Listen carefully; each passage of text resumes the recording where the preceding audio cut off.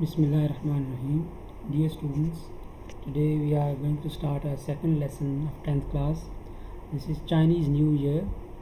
Chinese New Year is a holiday that, that celebrates the beginning of a new year according to the Chinese lunar calendar.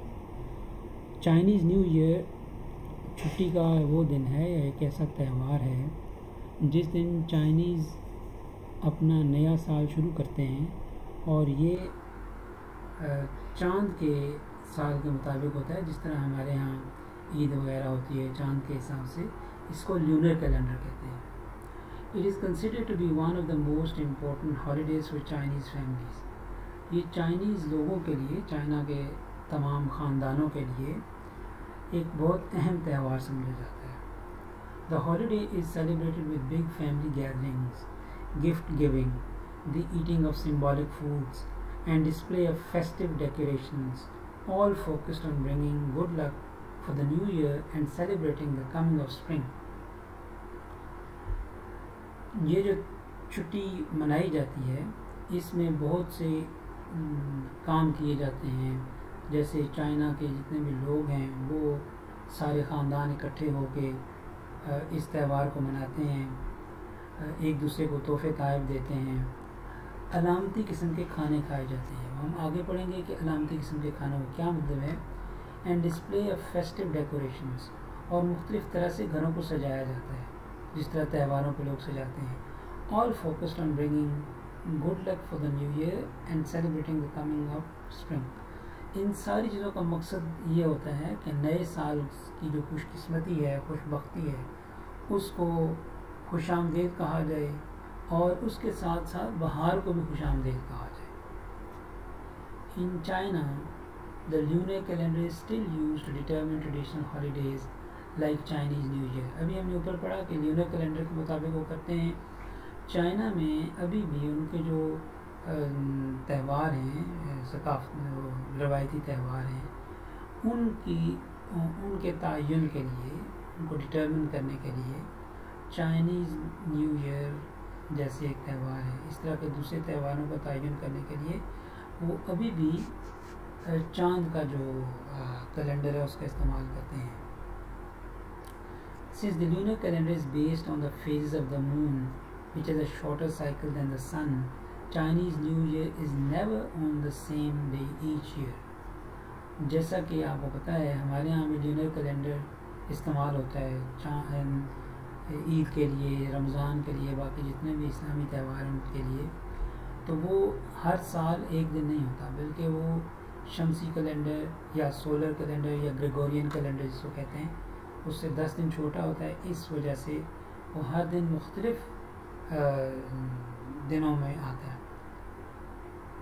तो China का जो साल है, वो भी हर साल एक ही दिन पर नहीं आता, एक ही दिन पर नहीं होता। But typically falls somewhere between January twenty first and February twenty ठीक है? अमूमन जो चाइना का साल है, वो 21 जनवरी से लेकर 20 जनवरी के दरमियान किसी भी दिन आ सकता है, वो चाँद के हिसाब से उसका तयन कर लेते हैं। Celebration can actually last up to month और इसकी जो त्यौहार की जितने भी उनके यहाँ रस्में हैं, वो तकरीबन एक महीने तक जारी रहती हैं। Here are some traditions associated with Chinese new year अब हम उन चीज़ों को देखते हैं, उनके यहाँ जो रवायती काम किए जाते हैं, इस त्यौहार को मनाने के लिए। वो कौन कौन से हैं? Cleaning houses and new clothes अपने घरों को साफ़ करते हैं और नए कपड़े पहनते हैं। Prior to the first day of the new year it is customary for families to thoroughly clean their houses पहले दिन से, पहले, यानी जिस दिन उनका नए ईयर, नए साल का त्यौहार होता है, उससे एक दिन पहले अपने घरों की मुकम्मल सफ़ाई की जाती है।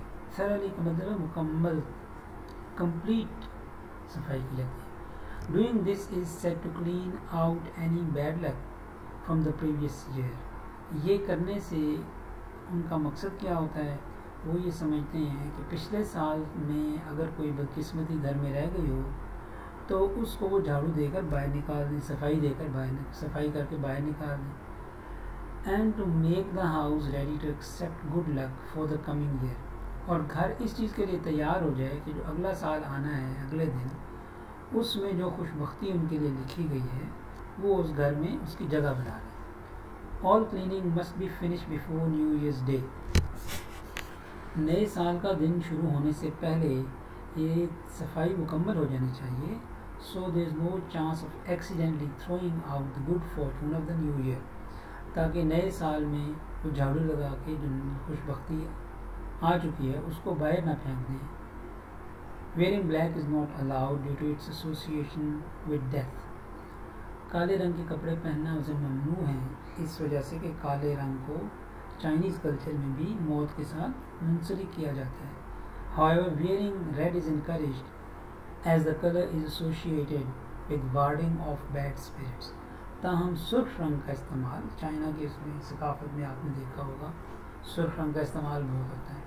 तो सुर्ख रंग का इस्तेमाल वो उसकी हौसला अफजाई की जाती है ताकि उनके ख्याल में सुर्ख रंग जो है वो बदकिस्मती को या बदरूहों को भगाने में मददगार साबित होते हैं। डेकोरेटिंग द हाउस, दूसरा जो काम वो करते हैं, अपने घरों को सजाते हैं। And other popular custom is to hang up signs and posters on doors and windows with a Chinese word fu written them दूसरा जो उनके यहाँ अहम रवाज है, वो ये है कि वो मुख्तलिफ़ उसके अपने दरवाज़ों पर और खिड़कियों पर चाइनीज़ वर्ड फू लिख के तो पोस्टर्स के ऊपर लिख के, वो दरवाज़ों खिड़कियों पर लटका देते हैं। इसका मतलब लक एंड हैप्पीनेस इसका मतलब है खुशबख्ती और खुशी। Buying flowers for the home is also commonplace since they symbolize the coming of spring and new beginning घरों के लिए फूल भी खरीदे जाते हैं और ये सब आम, सब जगहों पे ये जो रवायत है, इसको इस पर अमल किया जाता है और इसकी वजह भी सिंबॉलिक है। इससे वो ये समझते हैं कि क्योंकि स्प्रिंग बाहर आ रही है और ये एक नई चीज़ का आगाज़ है, नए साल का आगाज़ है, इस वजह से इन चीज़ों को भी ख़रीद के अपने घरों में सजाते हैं।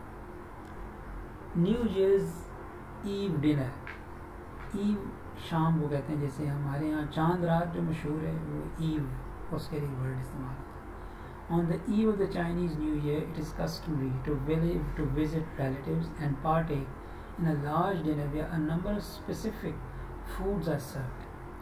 तो चाइनीज़ न्यू ईयर शुरू होने से पहले जो शाम है उसको ये रवायत है उनके यहाँ कि वो अपने रिश्तेदारों के यहाँ जाते हैं और वहाँ जाके ख़ास तादाद में जो डिशेज़ हैं वो तैयार की जाती हैं और उसमें वो हिस्सा लेते हैं It is typical for a Chinese family to make 8 to 9 dishes for the New Year's Eve dinner.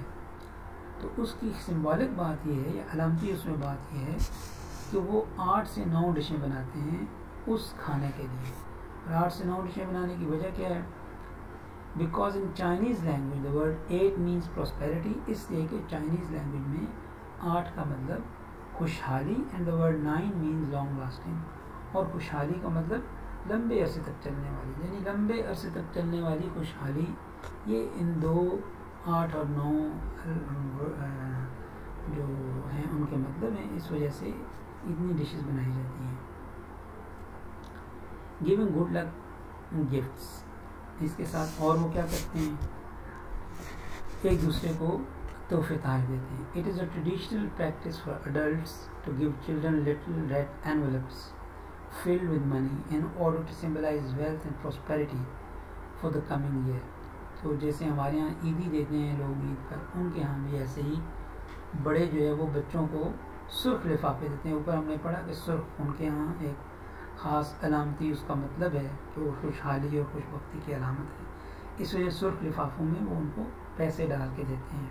और इसका मतलब भी होता है जिसको वो पैसे दे रहे हैं, उसके पास पूरा साल पैसों की और खुशहाली की कमी ना आए it's also common for elders to present red packets to unmarried members of the family तो इसी तरह जो बड़े हैं, वो रेड पैकेट्स में कोई और तोहफा भी दे सकते हैं। उन लोगों को देते हैं जो उनके ख़ानदान में अभी शादीशुदा नहीं है।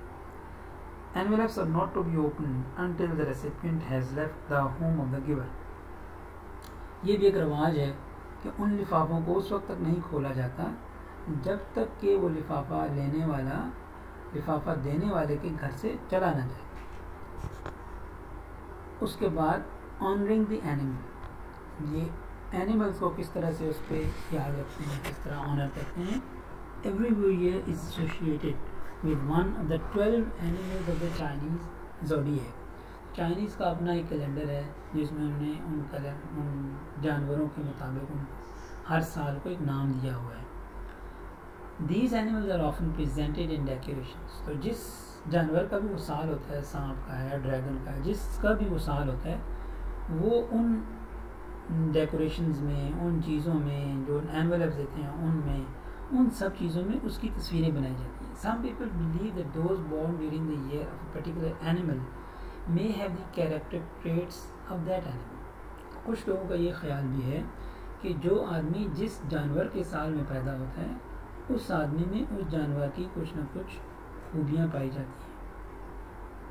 Chinese new year a time with the family should come together in order to give thanks for the year that is pass and reinvigorate for the coming year Chinese new year जो है, वो एक ऐसा वक्त है जब सारे के सारे ख़ानदान के लोग इकट्ठे होते हैं और इकट्ठे होके जो साल गुजर गया है, उसके लिए शुक्रिया अदा करते हैं और नए साल के लिए अपनी तोानाइयों को दोबारा से रिफ़्रेश करते हैं रीमिग्रेट रिफ़्रेश करते हैं।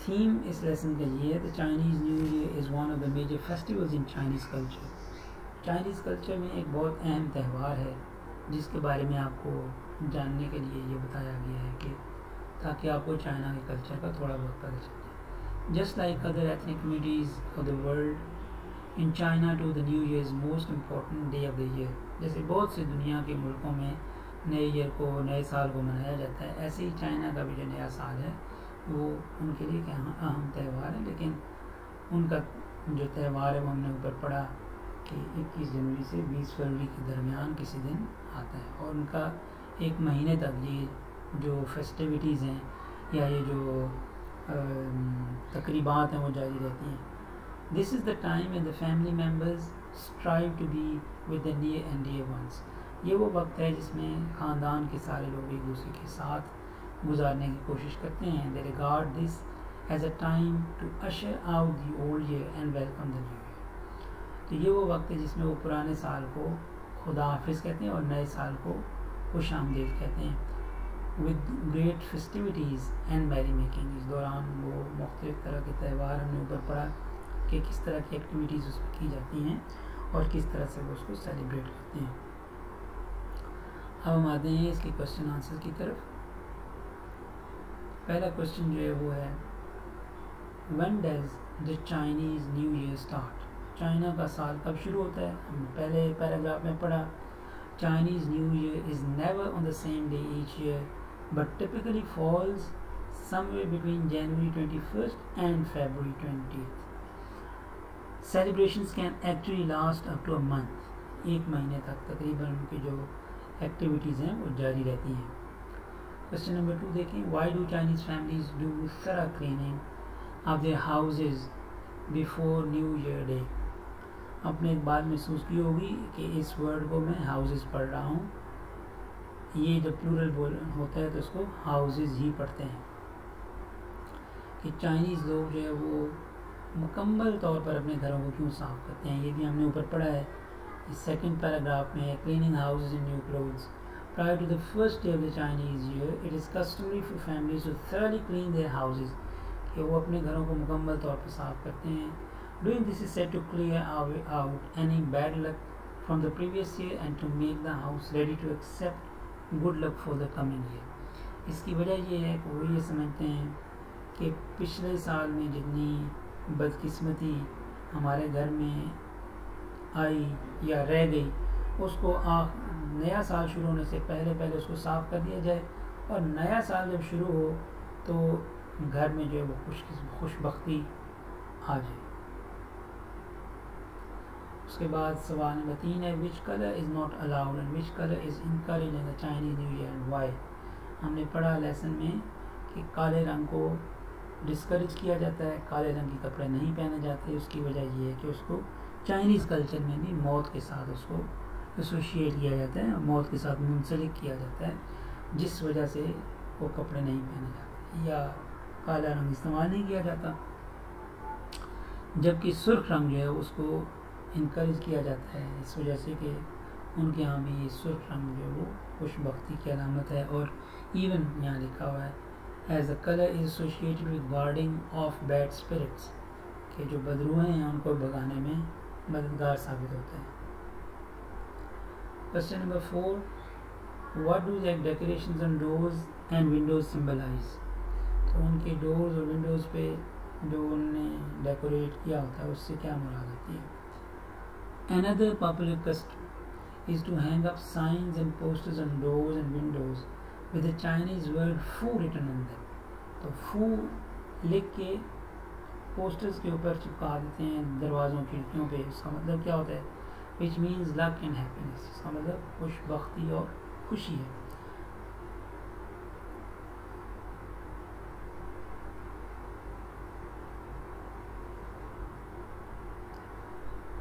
क्वेश्चन नंबर फाइव है what is the significance of new year eve dinner तो न्यू ईयर शुरू होने से पहले जो शाम है, उसके डिनर की क्या सिग्निफिकेंस है? क्या उसकी अहमियत है? अलामती तौर पर क्या अहमियत है? हमने पहले पढ़ा कि इसमें आठ या नौ डिशें बनाई जाती हैं। तो उसकी वजह क्या है? It's typical for Chinese family to make eight to nine dishes for the new year eve dinner because in Chinese language the word eight means prosperity and the word nine means long last यानी इसका मतलब ये कि लंबे अरसे तक खुशहाली उस घर के लोगों के लिए रहे, जिस घर में वो डिनर करते हैं। उसके बाद क्वेश्चन नंबर सिक्स है। What do the red red little envelopes filled with money symbolize ये भी सिम्बॉलिक होते हैं, अलामती। That the adults give the young ones red envelopes containing money.